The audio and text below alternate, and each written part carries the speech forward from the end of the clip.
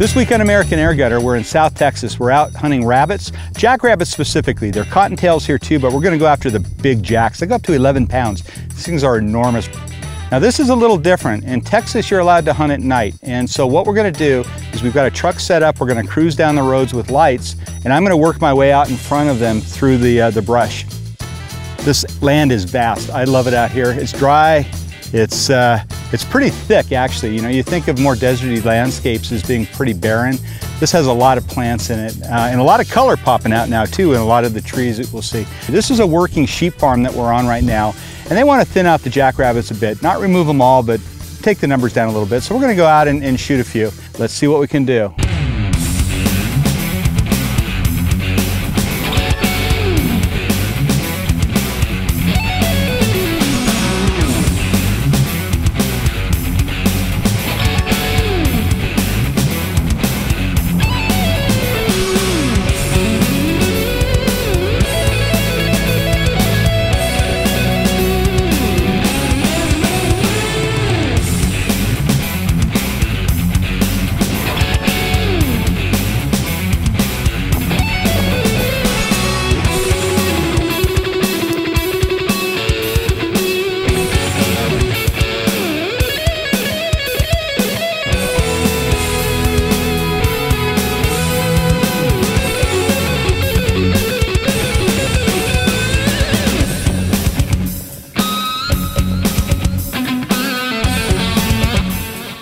I was using the Brocock Compatto in 22.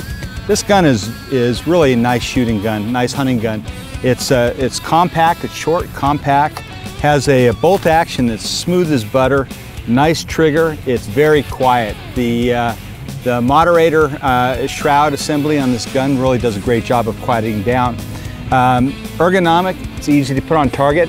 One of the things that's cool about this gun, it's a semi-bullpup design. So uh, it, uh, it gives you a full-length barrel, but in a short length overall uh, rifle. And uh, I'm, a, I'm a real uh, fan of, of, compact guns, so I, I, love this. Anyway, out there after these big, uh, big desert hares, did a really good job. Most of them just knocked them right over. They just rolled over. Um, really like this. It, it's everything I like in a hunting gun. It's compact, it's got a fast action, nice trigger, um, reliable. It's got it all going for it.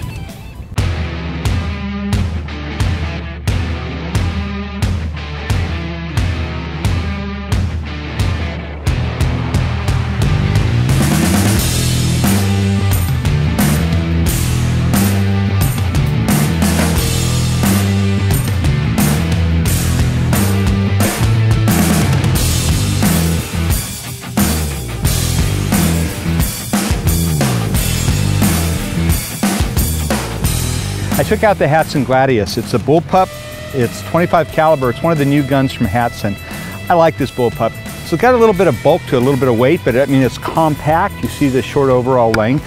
It's got a lot of accessories for mounting the uh, mounting lights, mounting uh, lasers, cameras, whatever you want. But what I really like about the gun is that besides moving the trigger forward of the, uh, the action as you do in all bullpups, they've also moved the side lever. So the cocking arm is up front.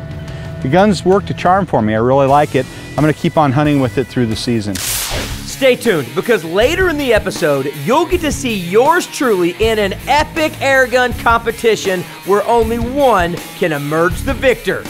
I'd rather be lucky than good. We'll be right back.